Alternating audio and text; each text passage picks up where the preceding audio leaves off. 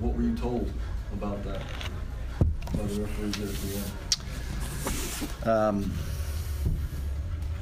Evidently, the clock stopped during play for longer than 5.6 seconds. Um, So I guess by rule, they time how long it stopped, but it's frustrating because our kid looks up, thinks he has time to make a play, and he really doesn't. I mean, that's hard. I cannot blame our players in that situation. I don't know who stopped the clock. I would like to know. Um, but that's how it was administered.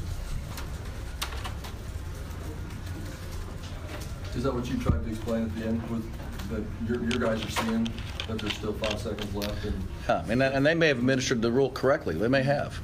Um, my point is, is if a kid looks at the clock, he thinks he has time to make a play, then he keeps playing. And and uh, you know, I'm on the rules committee, so maybe that's one that I say we got to change. And correction of a timing error. But I thought they obviously they administered it probably correctly. Coach, to be clear, just which player was it, as you said, uh, moved up? and, you know, just to clarify. All of our players. Frazier had the ball in his hands, but all of our players. before why do you think you were having so much trouble just, I mean, even getting the ball in bounds, getting that first like dribble up? Well, Williams is so big on the ball. They took away a pass to he's so so big. Essentially, takes away one pass or one side of the floor. And um, the, the one place we could get it was the where you really don't want was in the deep corner. Um, uh, but even if we got it there, we have you know we didn't handle it well there. We, we didn't catch it one time. Frazier just didn't catch it one time. We had a turnover from Harris in the corner over there. Um, and uh, give them give them credit.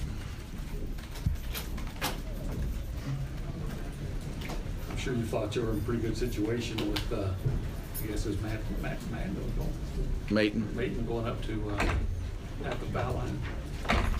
Oh yeah, I thought we were getting ready. I, I thought we were. I thought we were just going to see how much time was left in the game.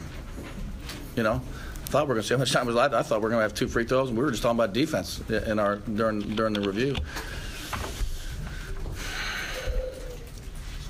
Because we're turning around, the first half seemed like you guys almost could run anything against, you were recognizing whether they were in zone, man to man, and running well, and then second half, it's maybe half the points at best. Um, well, we we had massive foul trouble.